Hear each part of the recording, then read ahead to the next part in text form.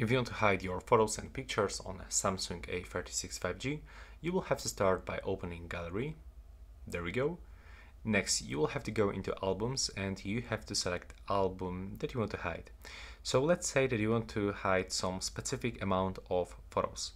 So you will have to first of all click on the plus and simply create album. Now you can set name for this album and click create.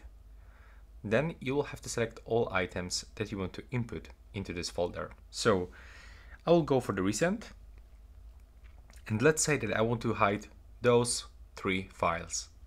I have to click done in the right upper corner after selection and I can decide if I want to move them or copy. If I want to hide them, then probably I will select move. There we go.